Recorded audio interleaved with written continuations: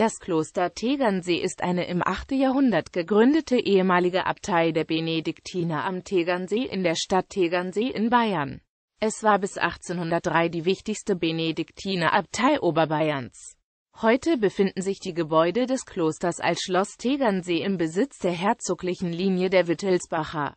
Die örtliche katholische Pfarrkirche St. Quirinus war bis 1803 Abteikirche.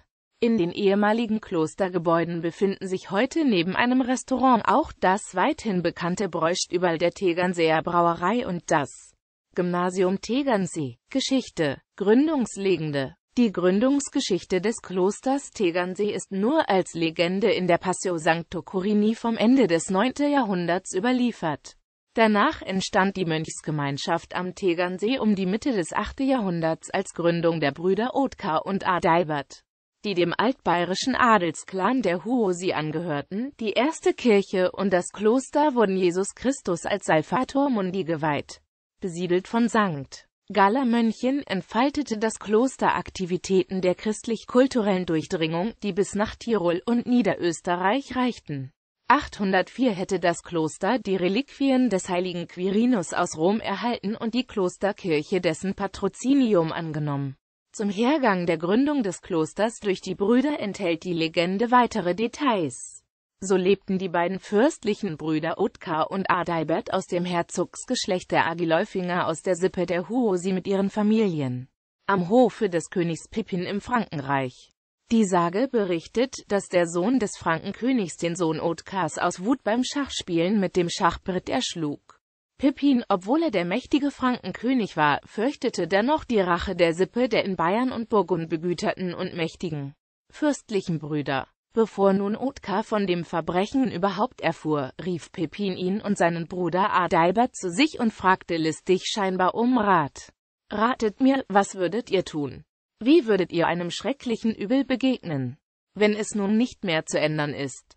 Beide Brüder entgegneten, so ein schreckliches Übel müsste man Gott ergeben und mit Gleichmut hinnehmen. Anführungszeichen. Da erst eröffnete ihnen der schlaue Pippin, was geschehen war. Da nun die beiden Brüder nicht gegen ihren eigenen Ratschlag zu Gewalt und Waffen greifen konnten, sahen sie sich gezwungen, diesen Mord hinzunehmen. Otkar, der unglückliche Vater, schwieg also trotz Wut, Schmerz und Trauer. Er beschloss aber, zusammen mit seinem Bruder Adalbert der Welt den Rücken zu kehren. So kam es, dass die beiden Brüder in ihrem Stammland, dem bayerischen Sundgau, ein Kloster am Tegarinsio, das ist althochdeutsch und heißt Großer See, an einem besonders sonnigen und schönen Uferstück gründeten, wohin sie sich zurückzogen. Die Szene mit den schachspielenden Fürstensöhnen war noch lange auf einem großen Tafelbild in der Egerner Kirche zu sehen. Nach dem Sturz des Bayernherzogs Tassilo III wurde Tegernsee karolingisches Königskloster. Die Ungarneinfälle und die damit verbundenen Kosten für den bayerischen Herzog Arnulf ließen ihn Klöster säkularisieren und zur Deckung der Kriegskosten die Klostergüter verkaufen. Ob Tegernsee davon direkt betroffen war, ist nicht belegt, jedoch verfiel die geistliche Kommunität in Tegernsee im Verlauf des 10. Jahrhunderts.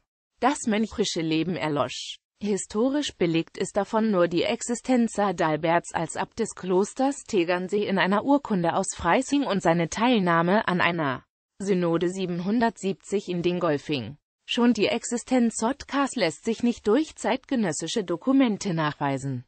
Alle weiteren Angaben entstammen den heiligen Legenden um Quirinus, die erstmals am Ende des 9. Jahrhunderts aufgezeichnet wurden und in erweiterter Fassung aus dem 10. Jahrhundert stammen. Die Herkunft Adalberts oder auch beider Brüder aus der Familie der Huosi gilt inzwischen als widerlegt. Untersuchungen der Gebeine, die im Hauptaltar der Klosterkirche als die der beiden Gründer aufbewahrt werden, ergaben Anfang 2016, dass die beiden Personen nicht aus dem heutigen bayerischen oder deutschen Raum stammten, sondern vermutlich ihren Ursprung in der Bretagne hatten. Die Gründung des Klosters kann mit diesen Untersuchungen auf 760 bis 65 datiert werden. Neugründung als Reichsabtei die von Kaiser Otto II. mitinitiierte Neugründung Tegernsees als Reichsabtei im Jahr 978 führte zur Erneuerung von Mönchtum und Kloster. Mit dem Mönch Vormund und Abt Ellinger wurde Tegernsee zu einem Zentrum von Literatur, Buch Kunst und Gelehrsamkeit. Die Tegernseer Reform erfasste eine Reihe bayerischer Klöster, auch St. Ulrich in Augsburg wurde nach seiner Umwandlung in ein Benediktinerkloster von Mönchen aus Tegernsee besiedelt. Die Blütezeit des Klosters sollte dann noch bis weit ins 12. Jahrhundert andauern, erkennbar u. A. an dort entstandenen Werken der Literatur und Wissenschaft Ruottlieb Quirinalen, Spiel vom Antichrist Tegernseer Briefsammlung. Das alexandrinische Papstschisma sah Tegernsee weitgehend vom politisch-kirchlichen Gegeneinander verschont, aber versehen mit königlichen und päpstlichen Privilegien. Die Grafen von Andex als Tegernseer wirkte ab 1121 und der für Tegernsee zuständige Bischof Otto II von Freising offenbaren dann nochmals das adlige Netzwerk, das an der Wende vom 12. zum 13. Jahrhundert hinter der Ernennung Manegolds von Berg zum Abt dieses bayerischen Klosters stand. Der Tegernseespruch Walters von der Vogelweide gehört in diese Zeit. Der Abbatiat Manegolds von Berg über Tegernsee und die Einsetzung dieses Abtes durch eine Adelsgruppe um Berger, Andexer und Staufer deuten schon die nachfolgende Entwicklung an. Im 13. und 14. Jahrhundert sank Egernsee zu einem Adelskloster in Abhängigkeit von gewissen Adelsfamilien herab. Und erst mit der Melker-Reform des 15. Jahrhunderts besann man sich wieder auf die Ideale benediktinischen Mönchtums. Der Brand des Klosters 1410 und die Visitation durch den Generalvikar Johannes Grünwalder 1426 markieren Tiefpunkt und Neuanfang in der klösterlichen Entwicklung. Tegernsee wurde, auch mit Unterstützung des Kardinals und päpstlichen Legaten Nikolaus von Küss Unterabt Eindorfer zu einem Reformmittelpunkt benediktinischen Mönchtums in der damaligen Zeit. 1455 besiedelten Tegernseer Mönche das neu gegründete Kloster Andex. Tegernseer waren Äbte in Benediktbeuern, Oberalteich, Wessobrunn u. A. 1446 wurde zum 700-jährigen Jubiläum ein großer Passionsaltar geweiht. Johannes Keck, Tegernseer Delegierter am Konzil von Basel, verfasste ein Werk über Musik der Tegernseer Prior Bernhard von Raging mystische Schriften. Um 1470 wurde die Klosterkirche neu errichtet. Unter dem Bibliothekar Konrads Artori wurde um 1500 im Kloster das Liber Illuministarum zusammengestellt die größte spätmittelalterliche Sammlung von Rezepten für die mittelalterliche Schreibstube, die über 750 Anweisungen unter anderem zur Pergamentbearbeitung, Farbenherstellung und Vergoldetechniken enthält. Die Blütezeit des bayerischen Klosters hielt auch während der frühen Neuzeit an. Ab 1573 gab es eine eigene Klosterdruckerei, die U. A. Dank kaiserlicher Druckprivilegien theologische, liturgische und musiktheoretische Bücher druckte. Die Wirren des Dreißigjährigen Krieges überstand die Mönchsgemeinschaft trotz eines schwedischen Angriffes auf das Kloster. Klosterkirche und Klostergebäude wurden ab 1684 1688 barockisiert das Kloster Tegernsee war prominentes Mitglied der 1684 gegründeten Bayerischen Benediktinerkongregation. In der Regierungszeit des Abtes Benedikt Schwarz zeigten sich dann die Vorzeichen der Säkularisation, die schließlich 1803 erfolgte und das Ende des Klosters Tegernsee mit sich brachte. Gregor Rothenkolber, der letzte Abt von Kloster Tegernsee, starb am 13. Februar 1810. Schloss Tegernsee Der größte Teil der Klostergebäude zwischen Kirche und See verfiel nach der Säkularisation.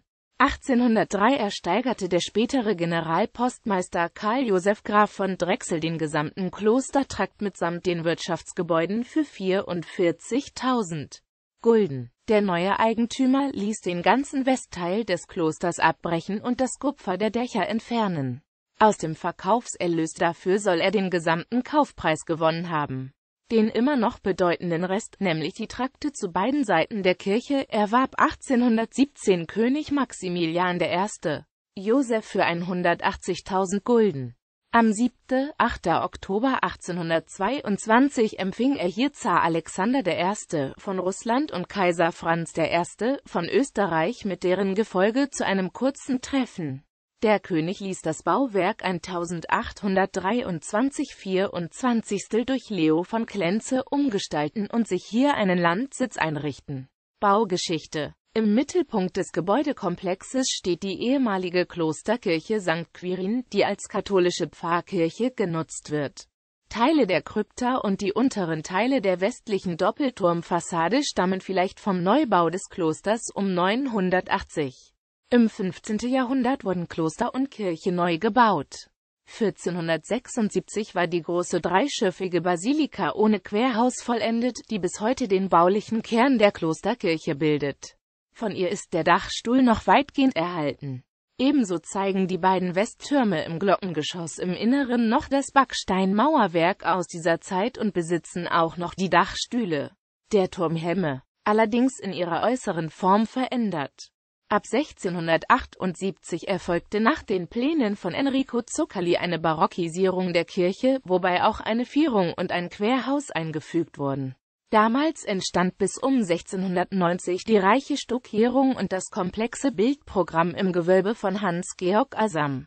Bei der die Kirche umgebende Klosteranlage handelt es sich heute um eine Vierflügelanlage mit Putzgliederung, die zwei Binnenhöfe umfasst. Die Anlage wurde 1678 nach Idealplan von Enrico Zuccali sowie 1689 bis 1736 durch Antonio Riva Johann Schmuser und Johann Baptist Gunnetzhainer errichtet.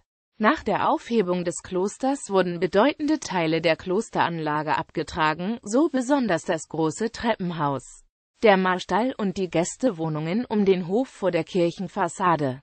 Um 1820 wurde schließlich in der Kirche der östliche Psaljechor abgetrennt und die Fassade durch Leo von Klenze umgestaltet 1823 bis 1824 wurde die Klosteranlage durch Leo von Klenze zum königlichen Sommerschloss umgestaltet. Zur Anlage gehört auch das ehemalige Sekretum, das sogenannte Apothekerstückel. Ein zweigeschossiger Walmdachbau mit rustiziertem Eingangsrisalit aus dem 18. Jahrhundert. Südlich der Klosteranlage findet sich ein Denkmal für Königin Caroline das 1870 von Johann von Halbig geschaffen wurde und ebenfalls unter Denkmalschutz steht. Zu den weiteren Gebäuden, die zeitweise im Besitz des Klosters Tegernsee waren, zählen unter anderem das Gut Kaltenbrunn sowie die abgegangene Burg Ebertshausen, heutige Nutzung des Gebäudes. Der Gebäudekomplex besteht heute noch aus der Pfarrkirche St. Quirin, der ehemaligen Klosterkirche, sowie den nördlich und südlich angrenzenden Trakten rund um die beiden Höfe. Außerdem bestehen nördlich der historischen Bauten noch neuere Nebengebäude der Brauerei. Im Nordtrakt ist das herzoglich bayerisches Brauhaus Tegernsee untergebracht. Das Erdgeschoss des Westflügels, unmittelbar an das Kirchenportal angrenzend, ist das Tegernseer Bräustüberle. Der südliche Trakt hat eine gemischte Nutzung. Ost- und Südflügel nutzen das Gymnasium Tegernsee. Dazu gehört auch das Marmortreppenhaus und der mit reichen Stuckaturen und einem barocken Deckengemälde geschmückte ehemalige Recreation Saal des Klosters, der heute als Aula der Schule und für kulturelle Veranstaltungen der Gemeinde Tegernsee genutzt wird. Im Erdgeschoss des Westflügels ist ein Restaurant mit Brennerei untergebracht. Die Stockwerke darüber sind der private Wohnbereich des Wittelsbacher Zweiges Herzog in Bayern, Äbte von Tegernsee